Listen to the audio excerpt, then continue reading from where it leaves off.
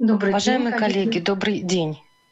Разрешите поделиться с вами российским опытом проведения клинических исследований в условиях COVID-19.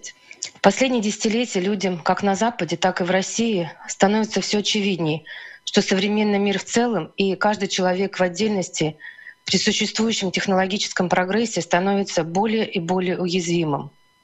Для обозначения того, что происходит сейчас в мире, конце XX века американские военные ввели в обиход аббревиатуру ВУКа, где каждая из букв охватывает целый спектр нарастающих явлений. Нестабильность, неопределенность, сложность, неоднозначность. Мир нестабилен, многое неясно. Мы ранее много слышали о ВУКа-мире, но никак не думали, что нам придется столкнуться и жить в этой реальности. В случае с пандемией COVID-19 нам пришлось срочно перестраивать работу. Все сотрудники компании, начиная от топ-менеджеров и заканчивая рядовыми сотрудниками, ежедневно продумывают каждый свой шаг. Сейчас нам приходится испытывать ВУКа на практике, думать и делать по-новому. С какими проблемами мы столкнулись? В марте 2020 года возникла ситуация, когда пандемия COVID-19 расширила свои границы, уверенно вошла в нашу страну и стала для нас реальностью.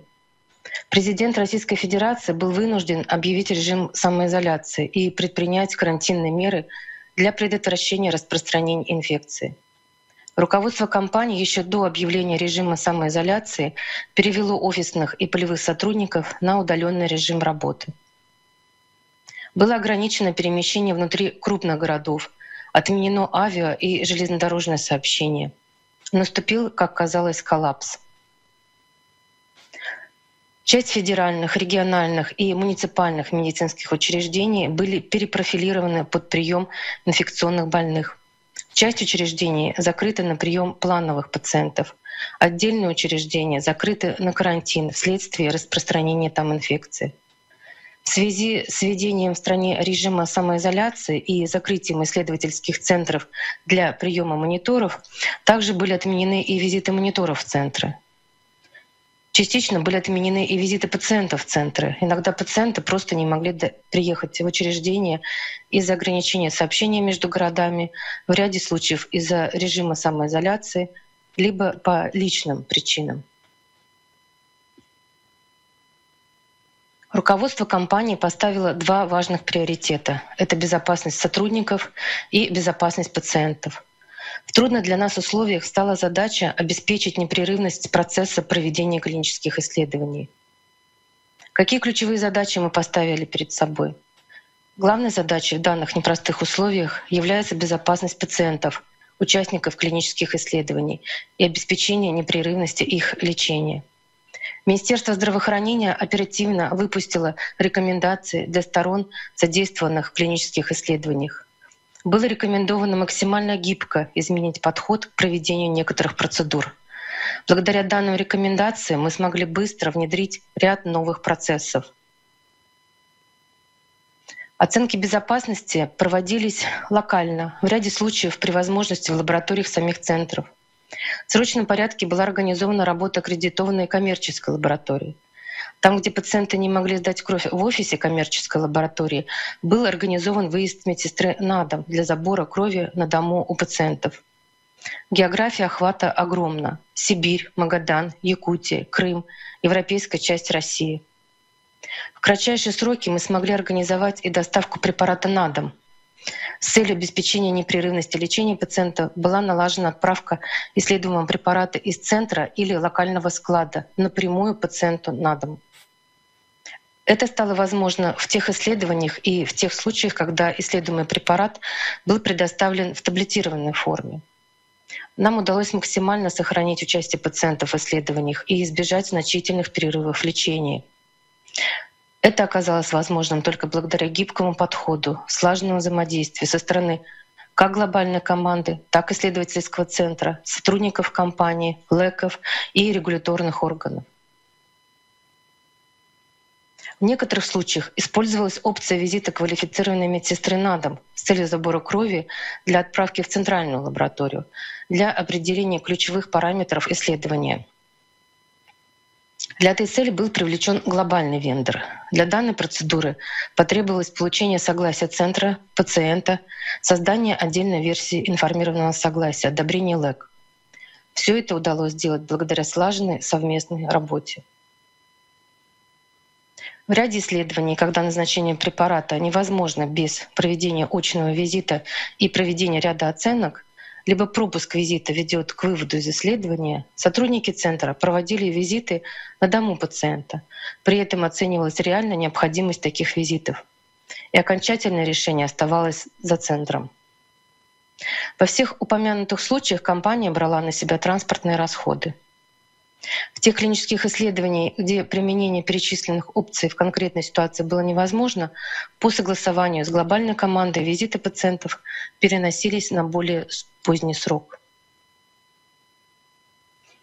Одной из задач проведения клинических исследований в текущих условиях стало укрепление партнерских отношений с центрами для обеспечения совместной работы монитора и центра, направленной на поддержание безопасности участников клинических исследований — Центры впервые опробовали новый удаленный подход взаимодействия с пациентом, когда не пациент идет в центр, а центр идет к пациенту.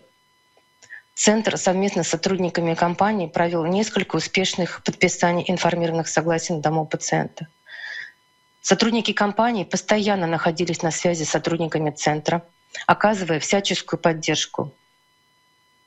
Также вместо запланированных визитов, если их проведение было невозможно, Проводились удаленные визиты пациентов в основном по телефону, но в ряде случаев были использованы удаленные технологии, визит пациента по видеоконференции. Во время визита врач связывался с пациентом, задавал вопросы по поводу нежелательных явлений, спрашивал, что беспокоит пациента, иногда просил самостоятельно измерить температуру, давление, опрашивал пациента для заполнения опросников. В ряде случаев в перепрофилированных учреждениях, где исследовательский центр попал в красную зону, возникла острая необходимость в кратчайшие сроки решить проблему по перемещению документов исследования на независимый склад, на временное хранение. Компания быстро совместно с центром организовала и осуществила отправку документов. Разрабатывался также план временного перевода пациента в другой центр, снабжение пациентов препаратом другого центра, вывоз препарата на локальный склад. Как изменилась работа монитора? Главным приоритетом стала помощь исследователям и исследовательским центрам в работе с пациентами — чтобы пациент оставался в исследовании и продолжал лечение. В первую очередь проводились и проводятся удаленные мониторинговые визиты. Во время такого визита по телефону идет совместная удаленная работа центра и монитора. Обсуждаются вопросы по работе центра, возникшие отклонения, связанные либо не связанные с COVID-19. Оказывается поддержка центру. Основное отличие от рутинного мониторинга — невозможность проведения очного SDV. С учетом сложившейся ситуации в исследовательских центрах, некоторые врачи оказались в красной зоне, выпали из рабочего процесса в связи с карантином. Поэтому сейчас очень важно соблюдать баланс в частоте контактов с сотрудниками центра, понимая, в каких непростых условиях с недостатком времени им приходится работать. Здесь я хочу поблагодарить врачей, которые работали и продолжают работать в такое непростое тяжелое время. Многие из них, выполняя обязанности исследователи стали работать с усиленной основной нагрузкой, в карантине, с тяжелыми больными, некоторые врачи с ковидными пациентами. Уважаемые доктора, большое вам спасибо за ваш труд. Что касается работы мониторов, в работе мониторов, которые работают с COVID-19 исследованиями, появилась уникальная возможность впервые в своей практике проводить удаленные SDV на специальной защищенной платформе. Работа на данной платформе возможна при определенных условиях. В первую очередь было получено согласие со стороны исследовательского центра на ней работать. Потребовалось дополнительное внесение в информированное согласие, информирование ЛЭКа. Эта платформа является защищенной, соответствует международным стандартам конфиденциальности и защите персональных данных США и Евросоюза.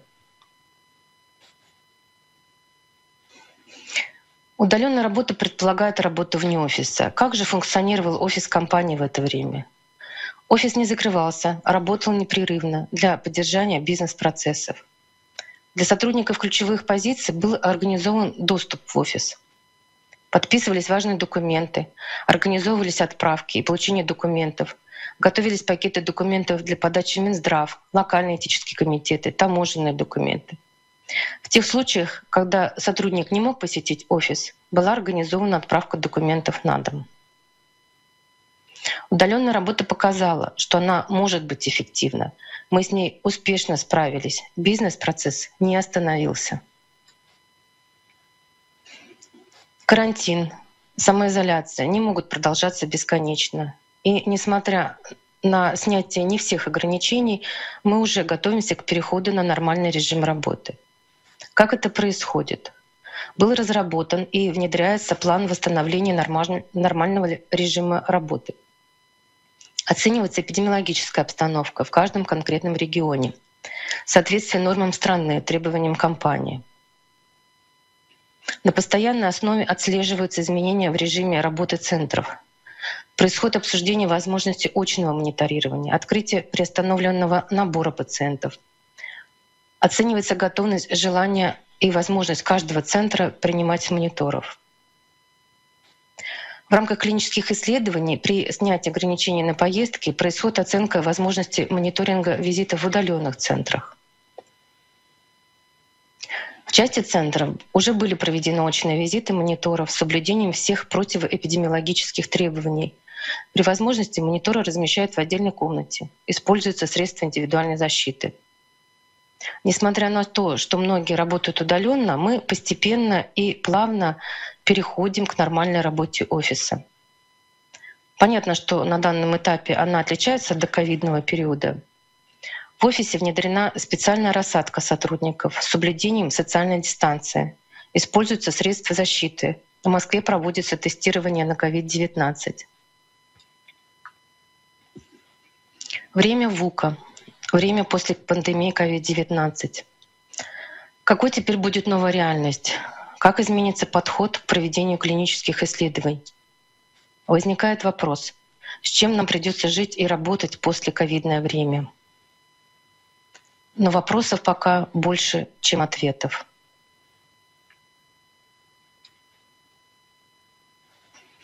Уважаемые коллеги, спасибо за внимание.